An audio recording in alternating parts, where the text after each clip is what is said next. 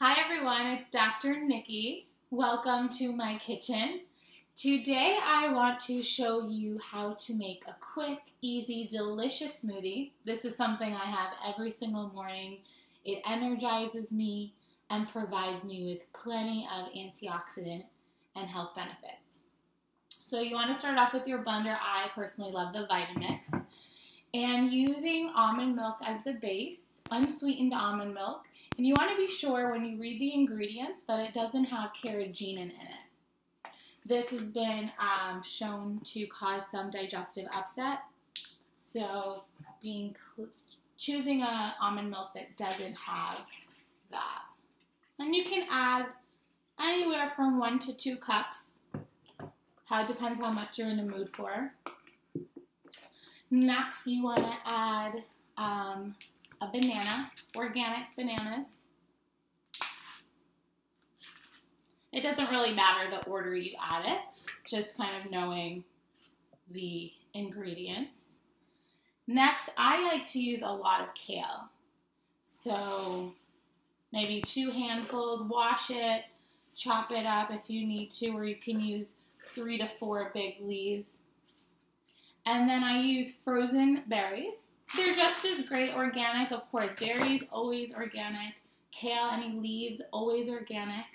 And um, when you buy them frozen, it's fine to. It's just it's just as great. If anything, they ripen on the vine, and they're just as sweet.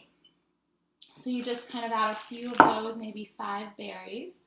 Then I like to add some hemp seed, which is full of omega 3s and you want to have healthy fats in your smoothie. This helps to absorb the fat soluble vitamins. I really love this, um, any superfood mix. You want to be sure it's vegan, organic. Some people, if they feel they want added protein in their day, you can get one that has um, an at, like protein additive you want it to be plant based. And this one um, is Garden of Life. I really like their stuff. Next, you can actually add half of an avocado if you like. I'm not going to do that today, but that's another way to get your good fats in there. I am going to add some coconut oil. And I usually like to add the coconut oil after I've blended it a little bit so that the strawberries don't freeze the coconut oil. I like to add a dash of cayenne pepper just to kickstart the metabolism a little bit and it helps to detoxify the body. I also like to add some cinnamon, great for flavor. Also, lots of health benefits with cinnamon. I like to put a lot. and we'll blend that all up.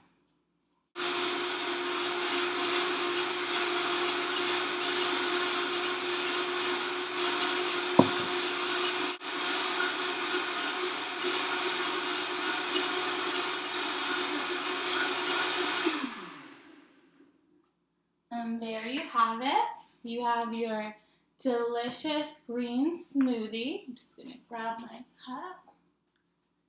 And you just pour it right in and enjoy it. Mm.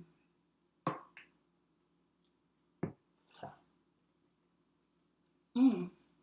Mm, mm, mm. So thank you for joining me today.